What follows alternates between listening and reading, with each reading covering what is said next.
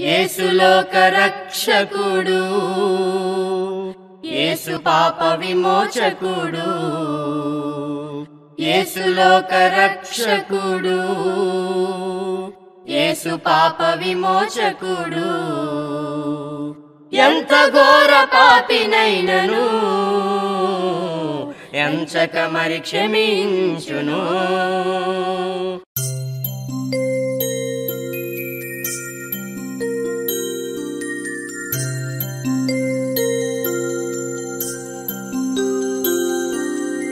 ప్రభునందు ప్రియమైనటువంటి వారులారా క్రీస్తు చేస్తున్నాములు మీ అందరికీ వందనములు తెలియజేస్తూ ఉన్నాను. దేవుని యొక్క మహా కృపను బట్టి దయని బట్టి ఆత్మీయ జీవితమైనటువంటి కార్యక్రమాల ద్వారా దైవ సంబంధమైనటువంటి సంగతులు నేర్చుకోవడానికి దేవుడు మమ్మను ప్రేమించి ఇస్తున్నటువంటి ఈ మంచి తరుణాన్ని బట్టి దేవునికి నేను కృతజ్ఞతాస్తుతి స్తోత్రాలు చెల్లిస్తూ ఉన్నాను. ప్రభునందు ప్రియమైనటువంటి వాళ్ళారా సమయంలో దేవుని యొక్క వాక్య భాగాల నుంచి ఒక ప్రాముఖ్యమైనటువంటి మాటని మనం ఆలోచన చేద్దాం. గ్రంథము ఇరవై ఒకటో అధ్యాయము ఇరవై రెండో వచన భాగం ఉన్నటువంటి మాటని ఆలోచించేద్దాం ఎవడైనను దేవునికి జ్ఞానం నేర్పగలడా అనే అంశాన్ని ఆలోచించేద్దాం ఈనాడు అనేక మంది దేవుడు చేస్తున్నటువంటి కార్యాలను చూసి దేవుణ్ణి గుర్తించాలి దేవుణ్ణి మహింపరచాలి.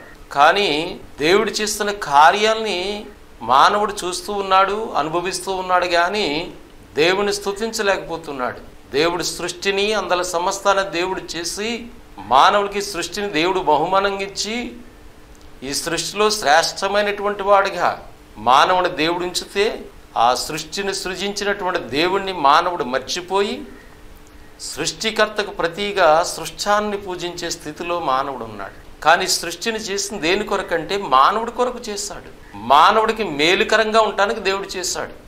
కానీ మనిషి రకరకాలుగా మాట్లాడుతున్నాడు దేవుని గూర్చి. నిజదేవుడైనటువంటి యెహోవా దేవుని గూర్చి.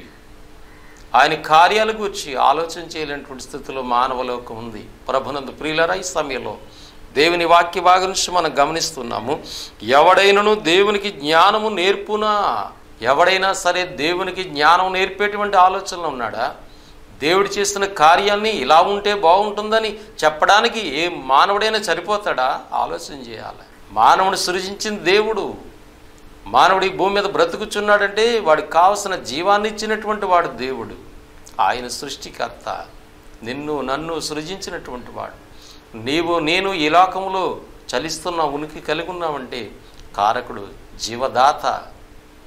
అటువంటి దేవుని గురించి ఆలోచన చేయకుండా దేవునికి జ్ఞానం నేర్పేటువంటి ఆలోచనలో మానవులకు ఉందా?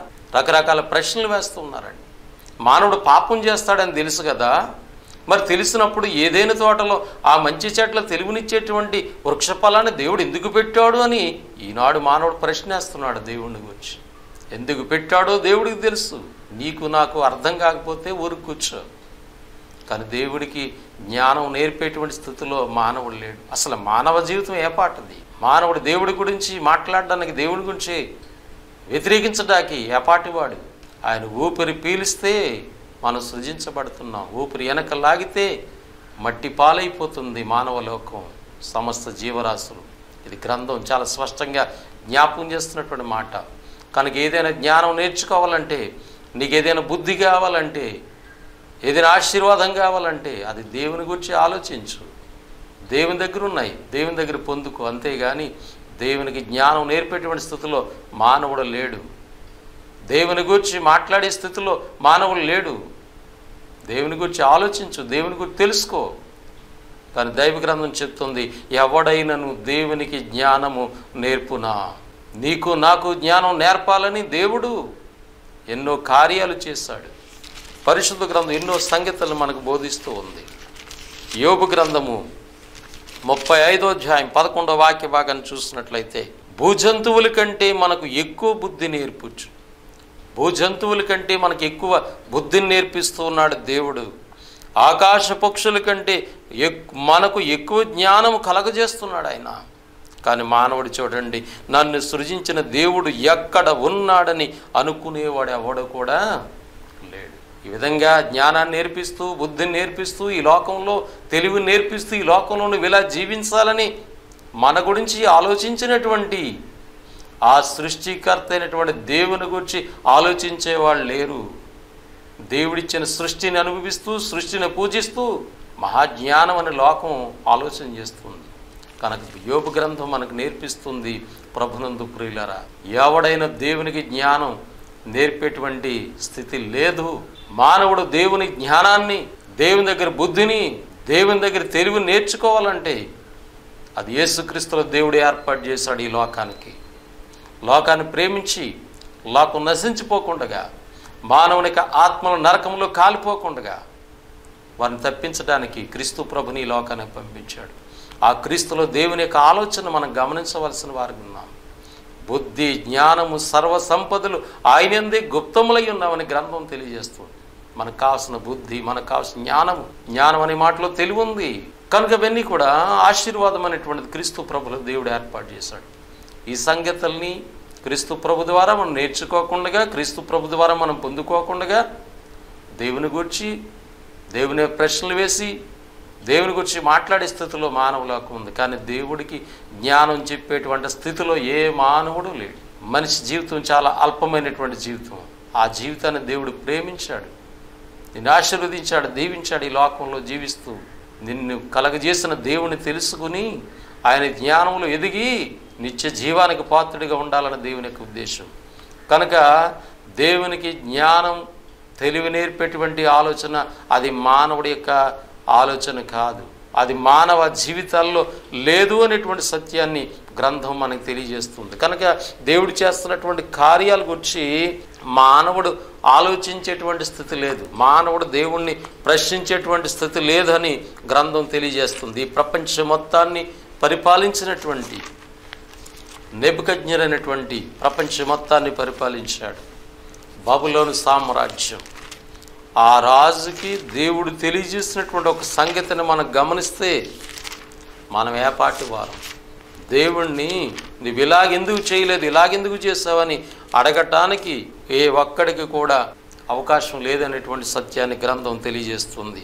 దానియేలు గ్రంథము నాలుగో అధ్యాయం ముప్పై ఐదో వాక్య భాగం భూనివాసులందరూ ఆయన దృష్టికి ఎన్నికకు రారు. ఆయన పరలోక సేనల ఎడలను భూనివాసుల ఎడను తన చిత్తము చెప్పున జరిగించేవాడు. ఆయన చెయ్యి పట్టుకు నీవేమి చేయుచున్నావని ఆయనతో చెప్పుటకు ఎవడను సమర్థుడు కాడు. దేవుని చేయి పట్టుకుని నువ్వు ఇలాగెందుకు చేస్తావు? ఇలా చేయి ఇలా చేయి అని చెప్పడానికి ఏ నరుడు సమర్థుడు కాడు. భూనివాసులందరూ కానీ పరలోక నివాసులందరూ కానీ ఆయన దృష్టికి అసలు ఎన్నికకే రారు. దేవుడు ఎంత గొప్ప దేవుడు ఆలోచించేయండి. కనుక నీ జీవితంలో నా జీవితంలో ఒక ఆకాశ పక్షి కంటే భూజంతువుల కంటే ఎక్కువ బుద్ధిని జ్ఞానాన్ని నేర్పించి సృష్టికర్ దేవుని బట్టి నువ్వు నేను జీవించాలని దేవుడు ఆలోచన చేస్తే మానవుడు ఇది ఇలాగెందుకు చేస్తాడు ఇది ఇలాగెందుకు చేస్తాడు అనేటువంటి ప్రశ్నలు వేస్తూ దేవుని గురించినటువంటి జ్ఞానాన్ని దేవుని గురించినటువంటి ఆలోచన కలిగి లేకుండగా జీవిస్తూ దేవునికి వ్యతిరేకులుగా జీవిస్తూ లోకం ఎంతో మాట్లాడుతుంది. కనుక ఒక నరుడు ఏపాటివాడు ఎవడు దేవునికి జ్ఞానం నేర్పించడానికి నువ్వేవాడు నేనవ్వడని దైవ గ్రంథం ఎన్నో విషయాలు మనకి జ్ఞాపకం చేస్తున్నట్లుగా వాక్య భాగాల్లో మనం చూడగలుగుతున్నాం. విషయ గ్రంథం నలభై అధ్యాయం పదమూడవ వాక్య భాగము పద్నాలుగో వాక్య భాగాన్ని మనం గమనిస్తే ఇలా ఉంది. యహోవ ఆత్మకు నేర్పినవాడెవడు? ఆయనకు మంత్రి అయి ఆయనకు బోధించేవాడెవడు? దేవుని దగ్గర ఒక మంత్రిగా ఉండి బోధించేటువంటి స్థితి ఎవడుకుంది? ఎవని యొద్ద ఆయన ఆలోచన అడిగాడు? నిన్ను నన్ను అడిగి ఈ లోకాన్ని కలగజేశాడా దేవుడు? ఈ సృష్టిని కలగజేశాడా దేవుడు? నిన్ను నన్ను అడిగి తన కుమారుడిని యేసుని ఈ లోకాన్ని పంపించి ఆయన ద్వారా మనకు క్షమాపణ ఇచ్చాడా దేవుడు? లేదే. నిన్ను నన్ను కలగజేసినటువంటి దేవుడు. ఆయన జ్ఞానము చేత ఇదంతా కూడా కలగజేశాడని గ్రంథం ఎన్నో విషయాలు మనకు తెలియజేస్తుంది. కనుక దేవుని జ్ఞానం ఎంతో గొప్పది. ఆ జ్ఞానంలో కొంతైనా మన జీవితంలో నేర్చుకుని ఆయనకు ఆయన ఆలోచన మేరకు జీవించాలని గ్రంథం తెలియజేస్తుంది. కానీ దేవునికి జ్ఞానం నేర్పేటువంటి స్థితి ఏ నరుడికి లేదు. ఏ వ్యక్తికి లేదు. ఈ సర్వ ప్రపంచంలో ఎవరైనా కూడా దేవుని ప్రశ్నించడానికి కానీ దేవుని గురించి మాట్లాడడానికి కానీ దేవుని గురించి వ్యతిరేకమైన సంగతులు మాట్లాడడానికి కానీ అవకాశం లేదని సత్యాన్ని గ్రంథం చెప్తుంది. కనుక ఇక్కడ అంటున్నాడు ఆయనకు వివేకము కలగజేసిన వాడెవడు? వివేకం అంటే మంచి చెడ్డలను తెలుపుతుంది. మంచి చెడ్డను తెలియజేసేటువంటి స్థితి దేవుడికి నువ్వు నేను నేర్పడం ఏంటి? ఆయనకి తెలుసు. ఏది మంచో ఏది చెడ్డో. కనుక ఆయన కలగజేశాడు నిన్ను నన్ను. నీ జీవితంలో నా జీవితంలో కూడా మంచి చెట్లు తెలుసుకునేటువంటి వారుగా మనం ఉండాలని. ఎప్పుడైతే బాలుడుగున్నటువంటి మనము మనలో జ్ఞానేంద్రియాలు ఎదుగుతూ ఉన్నాయో హెబ్రి పత్రిక ఐదు పద్నాలుగులో చెప్తాడండి. సాధకము చేయబడినటువంటి జ్ఞానేంద్రియం కలిగినటువంటి వారుగా మనల్ని ఉంచినాడు. అవి ఏం చేస్తున్నాయంటే వివేకం ఇస్తుంది వివేకం ఏం చేస్తుందంటే మంచి చెడ్డలు తెలుసుకునే విధంగా చేస్తుంది. కనుక నీవు నేను వివేకం కలిగి మంచి చెడ్డలు తెలుసుకునేవారుగా మనం ఉండాలని దేవుడు ఆలోచన చేస్తే భక్తుడు అంటున్నాడు ఆయనకు వివేకము కలుగు చేసేవాడెవడు? కనుక దేవుడు మహావివేకి. కనుక ఆయనకి వివేకం నేర్పేటువంటి కార్యక్రమం మానవ జీవితాల్లో లేదు. న్యాయ మార్గములకు వచ్చి ఆయనకు నేర్పేవాడెవడు? ఏది న్యాయమో దేవుడికి తెలుసు. దేవుడు అన్యాయస్తుడు కాదు. ఆయన ఎందు అన్యాయం ఏమాత్రం ఉండదు. భక్తుడు మాట్లాడుతూ యోగ గ్రంథాలు అంటాడు ముప్పై నాలుగో అధ్యాయం పదవచ్చిన భాగం. విజ్ఞానము గల మనుషులారా నా మాట ఆలకించుడి. దేవుడు అన్యాయం చేయుట అసంభవము. సర్వశక్తుడు దుష్కార్యం చేయుట అసంభవం. కనుక విజ్ఞానం కలిగినటువంటి ఒకవేళ లోక జ్ఞానాన్ని బట్టి మీరు మాట్లాడుతున్నారేమో. విజ్ఞానం గల మనుషులారా దేవుడు అన్యాయం చేయటం అసంభవం. కనుక దేవుడికి న్యాయమును గురించి నీవు నేను నేర్పేటువంటి స్థితిలో మానవ లోకం లేదు. మానవుడు అన్యాయస్తుడిగా ఉన్నాడు లోకంలో. కనుక దేవుడు న్యాయవంతుడు కనుక ఆ న్యాయమైనటువంటి బిడ్డలుగా ఈ భూమి మీద నీవు నేను తయారవ్వాలని అన్యాయస్తులకి దేవుని రాజ్యం లేదు. న్యాయవంతులకే దేవుని పిల్లలైనటువంటి వారికే దేవుని రాజ్యాన్ని దేవుడు ఏర్పాటు చేశాడు. కనుక దేవుని యొక్క వాక్యాన్ని మనం పరిశీలన చేస్తున్నాం న్యాయ మార్గమును గురించి ఆయనకి నేర్పిన వాడెవడు?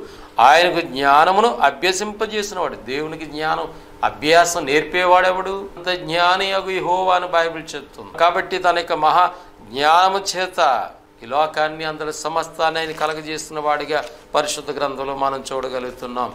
ఇర్మియా గ్రంథం పదోధ్యాయము పన్నెండవ వచ్చిన వాగు. ఆయన తన బలము చేత భూమిని సృజించును తన జ్ఞానము చేత ప్రపంచములు స్థాపించును తన ప్రజ్ఞ చేత ఆకాశం విశాలపరచును. ఆయన ఆజ్ఞీగా జలరాశులు ఆకాశ మండలములో పుట్టును. భూమంత్య భాగములో నుండి ఆయన ఆవిరిని ఎక్కజేయును.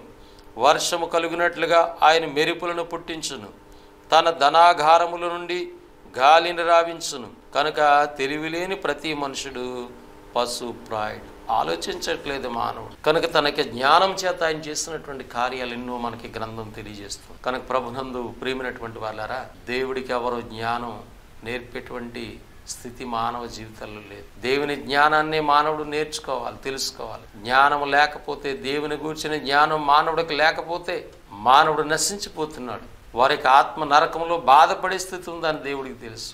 అందుకే క్రీస్తు ప్రభు ద్వారా బుద్ధి జ్ఞానము అలాగే సర్వ సంపదల క్రీస్తుల దేవుడు ఏర్పాటు చేస్తున్నటువంటి విధానాన్ని పరిశుద్ధ గ్రంథం మనకి తెలియజేస్తుంది. పావులు రోమాలో ఉన్నటువంటి సంఘానికి రాసినటువంటి మాటను మనం గమనించినట్లయితే పదకొండో అధ్యాయం ముప్పై మూడు ముప్పై నాలుగు వాక్య భాగాలు ఇలాగ మనకు తెలియజేయబడుతున్నాయి ఆహా దేవుని బుద్ధి జ్ఞానముల బాహుల్యము ఎంతో గంభీరములు. ఆయన తీర్పులు శోధింపనెంతో ఆవశ్యములు.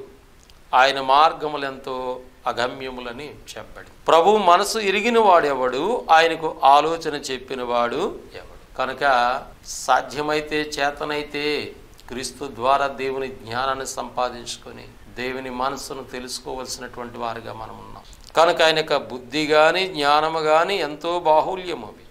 అవి ఎంతో గంభీరమైనటువంటి. ప్రభు యొక్క మనసు తెలిసిన వారుగా మనం ఉండాలి. అందుకే పావులు క్రొత్త నిబంధనలో చెప్తాడు. పిలిపి రెండు ఐదులో క్రీస్తు ఏస్తున కలిగినటువంటి ఈ మనసును మీరు కలిగి ఉండండి అని గ్రంథం మనకు జ్ఞాపకం చేస్తుంది.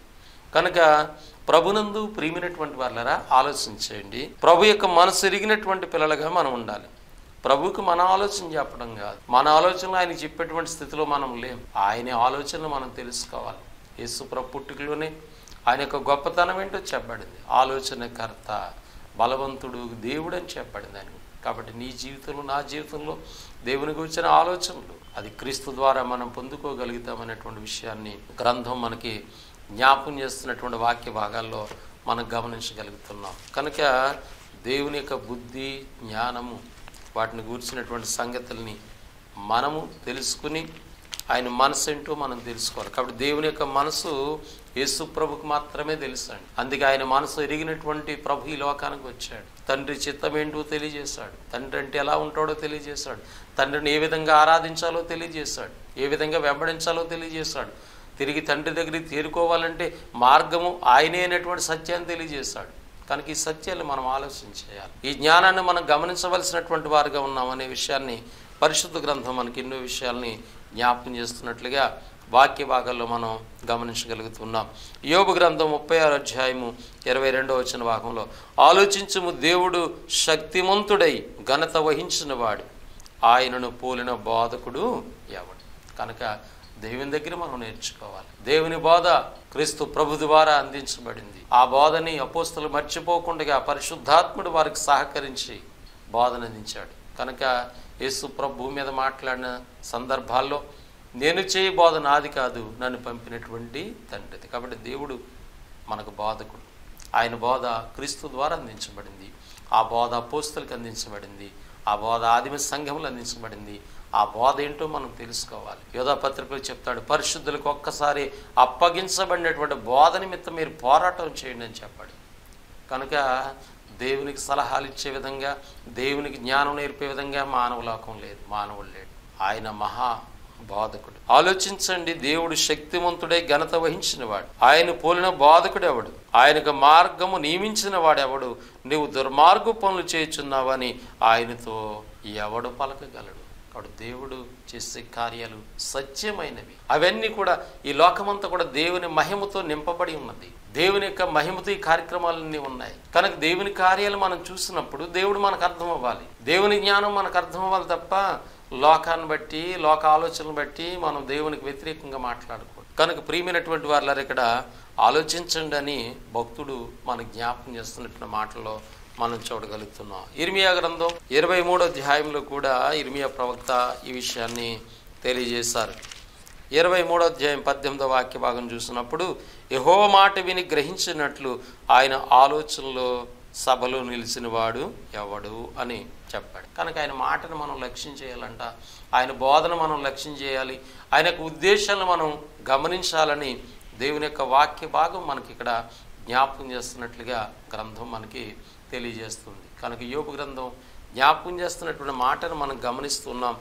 అక్కడ చెప్పబడినటువంటి మాటలు మనం గమనించినట్లయితే దేవునికి జ్ఞానము నేర్పేవాడు ఎవడు? కనుక దేవునికి జ్ఞానమునే ఎవడైనా దేవునికి జ్ఞానము నేర్పునా అని వాక్య భాగం చూస్తున్నాం. కనుక మానవుడు దేవుని దగ్గరే జ్ఞానం నేర్చుకోవాలి. ఎందుకంటే దేవుడు ఎంత గొప్పవాడని మనం చూసినప్పుడు పరలోక వాసులను వాసులకు ఆయన తీర్పు తీర్చును కదా. పరలోకం ఉన్నటువంటి నివసించేటువంటి వారికి తీర్పు తీర్చేవాడు. పరలోకంలో దేవదూతులు భూనివాసులకు తీర్పు తీర్చాడు కనుక సమస్తానికి తీర్పు తీర్చాలంటే ఆయన ఎంత జ్ఞానవంతుడో ఎంత న్యాయవంతుడో మనకు అర్థం అవ్వాలన్నమాట ఆయన తీర్పు తీరుస్తున్నాడంటే ఇక్కడ ఎంత గొప్పవాడో ఈ వాక్య భాగంలో మనకి జ్ఞాపించండి పరలోక వాసులకు ఆయన తీర్పు తీర్చును కదా. పరలోకంలో ఉన్నటువంటి వారు ఎవరు? దేవదూతలు. దేవదూతలు ఏమైనారు ఆత్మలై ఉన్నారు. దేవదూతలు ఆత్మలైనటువంటి దేవదూతలకు తీర్పు తీరుస్తున్నాడంటే దేవుడు ఎంత జ్ఞానం గలవాడు ఎంత శక్తి గలవాడో మనం ఆలోచించాలి. అందుకే యోగు గ్రంథం పదిహేను అధ్యాయంలో ఒక వాక్య భాగం మనకి ఈ విధంగా తెలియజేయబడుతుంది. పదిహేను అధ్యాయం పదిహేను వాక్య భాగాన్ని కూడా చూసినట్లయితే ఆలోచించము ఆయన తన దూతల ఎందు నమ్మిక ఉంచడు కనుక పరలోకంలో ఉన్నటువంటి ఆ దూతల మీద కూడా నమ్మకం లేదు. ఎందుకంటే దూతల్లో ఉన్నటువంటి లోపాన్ని ఆయన కనుగొన్నాడంటండి. అంత ఎంత గొప్ప దేవుడు ఆలోచించండి. యోగ గ్రంథం నాలుగు పద్దెనిమిది. ఆయన తన సేవకులు నమ్మట్లేదు తన దూతలు ఎందు లోపము కనుగొని కనుక ఆయన తీర్పు తీర్చాలంటే ఆయన ఎంత గొప్ప దేవుడో ఎలాంటి శక్తి గల దేవుడో బైబిల్ మనకు తెలియజేస్తుంది. కనుక దేవునికి జ్ఞానం నేర్పే ఆలోచన దేవుడికి సలహాలు ఇచ్చే ఆలోచన అది మానవులు లేదు. కనుక దేవుని గూర్చి ఆయన కుమారుడు యేసుక్రీస్తుని గూర్చి మానవుడు తెలుసుకోవాలన్నది దేవుని యొక్క ఉద్దేశం. మానవులందరూ కూడా రక్షించబడాలంట దేవుని యొక్క ఉద్దేశంలో. తిమ్మతికి రాసిన మొదటి పత్రిక రెండో అధ్యాయం నాలుగు వచ్చిన ఆయన మనుషులందరూ రక్షణ పొంది సత్యమును గూర్చిన అనుభవ జ్ఞానం గలవారై ఉండవలని ఇచ్చేంచుచున్నాడు మనుషులందరూ కూడా లోకమంతా కూడా రక్షణ పొందాలి క్రీస్తులో. క్రీస్తులు ఉన్నటువంటి సత్యాన్ని గుర్తించాలి. ఆయనలో నిలవాలి. ఆయన ద్వారా తండ్రి దగ్గరకు మానవుడు చేరుకోవాలి. ఇది దేవుని కోరిక దేవుని ఆలోచన. కనుక క్రీస్తులు ఉన్నటువంటి బుద్ధిని జ్ఞానాన్ని మానవుడు తెలుసుకోవాలి గ్రహించుకోవాలి అది పొందుకోవాలి. పొందుకుని జ్ఞానం కలిగినటువంటి బిడ్డగా సత్యమును గూర్చినటువంటి అనుభవ జ్ఞానం కలిగి మానవుడు జీవించి ఒక దినాన ప్రభు రెండో రాకల్లో ఆయనతో పాటు పరలోకంలో ఉండేటువంటి స్థితిని దేవుడు దయచేస్తాడు. ఆ స్థితిని మానవుడు పొందుకోవాలని దేవుని యొక్క వాక్యం మనకు జ్ఞాపకం చేస్తుంది. కాబట్టి మానవుడు దేవునికి జ్ఞానం నేర్పే ఆలోచన మానవుడికి లేదు. కాబట్టి రకరకాలుగా లోకంలో దేవుని గూర్చినటువంటి అవగాహన లేక దేవుని గూర్చినటువంటి ఆలోచన లేక అనేక మంది మాట్లాడుతున్నటువంటి విషయాలు మనం గ్రంథంలో చూస్తున్నాం. మరొక మాటని మనం ఆలోచించేద్దాం కీర్తన గ్రంథము ఎనభై రెండో అధ్యాయం మొదటి వచ్చిన చూస్తే ఆయన దైవముల మధ్య తీర్పు తీరుస్తున్నాడని బైబిల్ చెప్తుంది. ఒక లోకంలో దేవుళ్ళు దేవతలు అనబడేవారు ఉన్నప్పటికీ వారి మధ్య తీర్పు తీర్చేటువంటి గొప్ప దేవుడే యహోవా దేవుడు. ఆయనే సర్వశక్తి గల దేవుడు. ఆయనే ఈ లోకా అధిపతి లోకాన్ని కలగజేస్తున్నవాడు. ఈ లోకాన్ని ఒక దినాన క్రీస్తు ప్రభుని రెండో రాకడ ద్వారా నాశనం చేయగలిగినటువంటి శక్తి గల దేవుడు. కాబట్టి దేవతలు దేవుళ్ళు అనబడేటువంటి వారు. ఒక దినాన్న ఆయన ఎదుట సాగిలి పడతారని దేవుని వాక్యం చెప్తుంది. అంత గొప్ప జ్ఞానవంతుడైనటువంటి దేవుని గూర్చి ఏలనగా మాట్లాడడం ఆ దేవుడు పంపించిన యేసుక్రీస్తుని గూర్చి వ్యర్థంగా మాట్లాడడం లోకం మోసపోతుంది. కనుక దేవుడే జ్ఞానవంతుడు. నిన్ను నన్ను ప్రేమించాడు క్రీస్తు ప్రభుని పంపించాడు. ఆయన ద్వారా దేవుని గురించి జ్ఞానం మనకు ప్రకటిస్తున్నాడు అందించాడు. ఆ జ్ఞానాన్ని తెలుసుకుందాం. దేవుని జ్ఞానంలో కొనసాగుదాం ఒకవేళ దేవుని జ్ఞానం కనుక మనం లేకపోతే దేవుని ద్వారా కనుక మనం బుద్ధి తెచ్చుకోకపోతే దేవుని ద్వారా కనుక మనం తెలివి తెచ్చుకోకపోతే ప్రతి మనిషి కూడా నశించిపోతాడు. అటువంటి నశించిపోయే స్థితి మానవ జీవితాల్లో ఉండకూడదని దేవుని యొక్క ఉద్దేశంగా గ్రంథం మనకు తెలియజేస్తుంది. ఆ విధంగా దేవుని జ్ఞానంలో మనం కొనసాగుదాం దేవుడు అటువంటి కృప అటువంటి ప్రేమ మనందరి జీవితాలు దయచని కోరుతూ మాటలు ముగిస్తూ ఉన్నాను. మీ అందరికీ నా వందనములు. ప్రార్థన చేసుకున్నాను పరిశుద్ధుడైన మా తండ్రి ప్రేమగల ప్రభు చెప్పబడిన మాటలు నిష్ప్రయోజనం కాకుండా మా జీవితాల్లో మేలుకరంగా మీకు మహింకరంగా ఉండేటట్టు సహాయం చేయండి. ఛానల్ వారిని సహకరిస్తున్న ప్రతి ఒక్కరిని ఆర్థిక చేతి ఇచ్చిన సంఖ్య బిడ్డలను మీరు ఆశీర్వదించండి.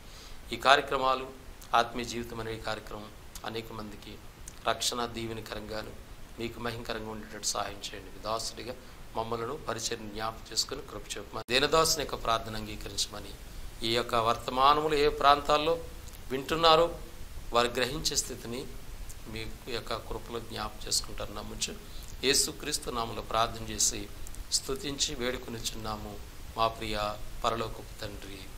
ఆమెన్. మీ అందరికీ వందనములు. దేవుడు మిమ్మల్ని మీ కుటుంబములను దీవించి ఆశీర్వదించునుగాక. ఆమెన్.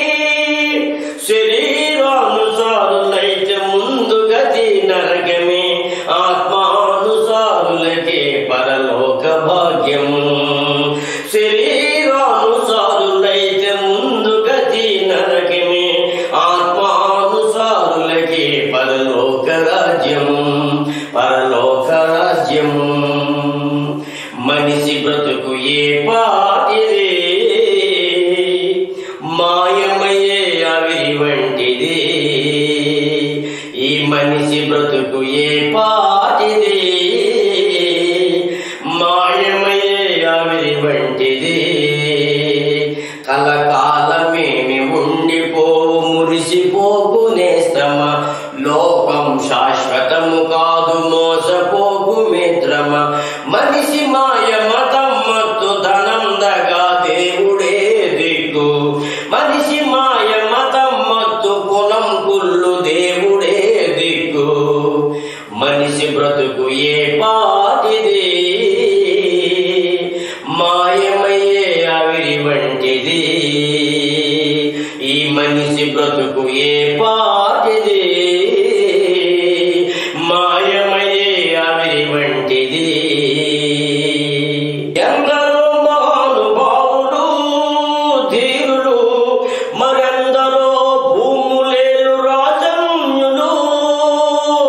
yang